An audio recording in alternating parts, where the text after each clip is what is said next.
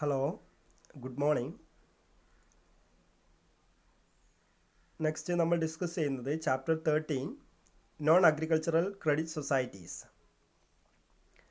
non agricultural പർപ്പസിന് വേണ്ടിയിട്ട് ആവശ്യമായിട്ടുള്ള short term and medium term loans provide ചെയ്യുന്ന ഇൻസ്റ്റിറ്റ്യൂഷനുകളാണ് ഈ ചാപ്റ്ററിനകത്ത് വരുന്നത്. നോൺ അഗ്രികൾച്ചറൽ ക്രെഡിറ്റ് സൊസൈറ്റിക്കകത്ത് വരുന്നത്.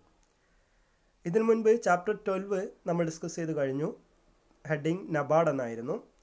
അതിനകത്ത് റോൾ ഓഫ് നബാർഡ് കോപ്പറേറ്റീവ് സെക്ടേഴ്സിൽ നബാർഡിന്റെ റോൾ എന്താണ്? നബാർഡ് പ്രൊവൈഡ് ചെയ്യുന്ന ഫണ്ടുകൾ അതിന്റെ മാനേജ്മെന്റ് ദെൻ അതിന്റെ വർക്കിംഗ് ഇത്രയും കാര്യങ്ങളായിരുന്നു നബാർഡ് എന്ന് പറയുന്ന ചാപ്റ്ററിനകത്ത് നമ്മൾ ഡിസ്കസ് ചെയ്തിട്ടുണ്ടായിരുന്നത്.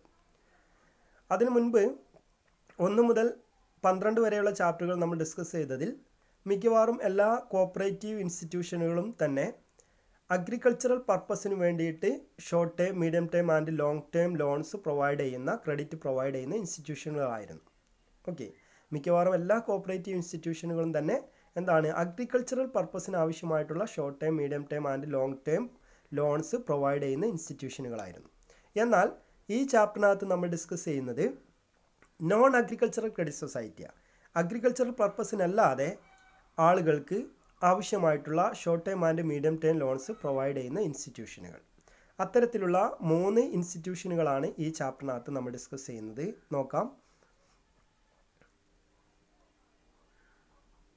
മെയിനായിട്ട് ഈ മൂന്ന് ഇൻസ്റ്റിറ്റ്യൂഷനുകളാണ് നോൺ അഗ്രികൾച്ചറൽ ക്രെഡിറ്റ് സൊസൈറ്റീസ് എന്ന ചാപ്റ്ററിനകത്ത് വരുന്നത്. First one cooperative urban banks employees cooperative credit societies and housing society ഈ മൂന്ന് മൂന്ന് കോപ്പറേറ്റീവ് ഇൻസ്റ്റിറ്റ്യൂഷനുകളെ കുറിച്ചാണ് ഈ ചാപ്റ്ററിനകത്ത് ഡിസ്കസ് ചെയ്യുന്നത്.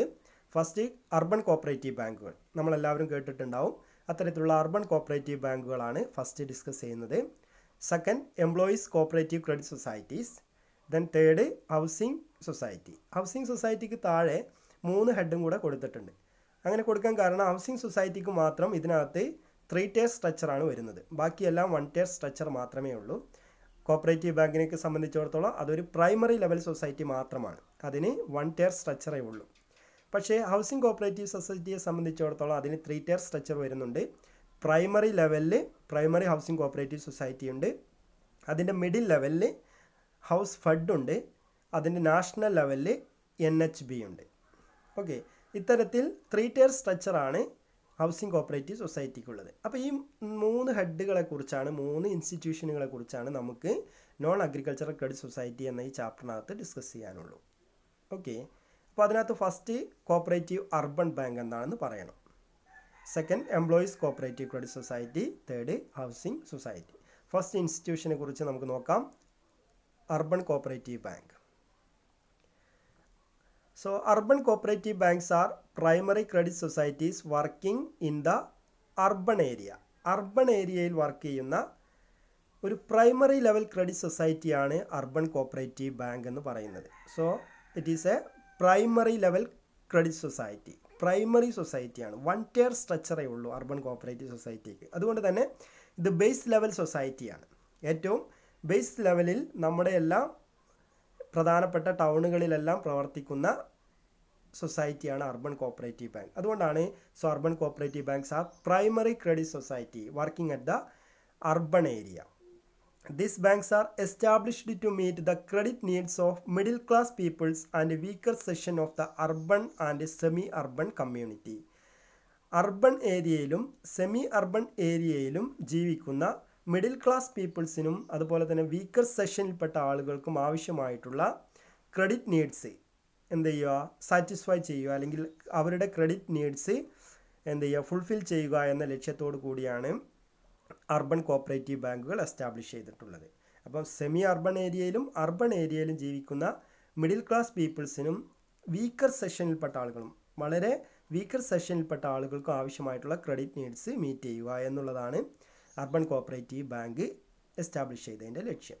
ഓക്കെ ദ മെയിൻ പർപ്പസ് ഇതിന്റെ മെയിൻ പർപ്പസ് എന്ന് പറയുന്നത് എന്താണ്? So to the establishment of this bank is to provide cheap credit to the people living in urban and semi urban area urban ഏരിയയിലും സെമി അർബൺ ഏരിയയിലും ജീവിക്കുന്ന ആളുകൾക്ക് cheap credit means small credit വളരെ ചെറിയ വായ്പകൾ നൽകുക എന്നുള്ള short time and medium time loans മാത്രമേ അർബൻ കോപ്പറേറ്റീവ് ബാങ്കുകൾ പ്രൊവൈഡ് ചെയ്യാറുള്ളൂ. അതുകൊണ്ടാണ് ചീപ്പ് ക്രെഡിറ്റ് എന്ന് പറയുന്നത്.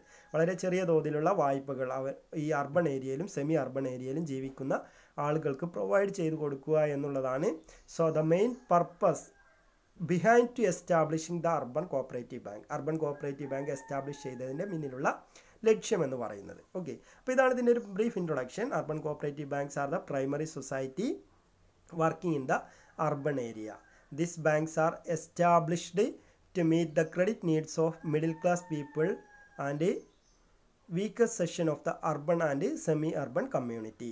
The main purpose of the establishment of the society is to provide cheap credit to the peoples living in urban and semi urban area ഇതിന് ശേഷം ഇതിന്റെ membership എന്താണ്? അതുപോലെ തന്നെ അർബൺ കോപ്പറേറ്റീവ് ബാങ്ക്സിന്റെ കൂടുതൽ ഡീറ്റെയിൽസ് അത് നമുക്ക് അടുത്തൊരു വീഡിയോ ആയിട്ട് ചെയ്യാം. ഓക്കെ അപ്പോൾ ഇത്രയും കാര്യങ്ങളാണ് ഇതിന്റെ ഇൻട്രൊഡക്ഷൻ ആയിട്ട് നിങ്ങൾ ഓർക്കേണ്ടത്.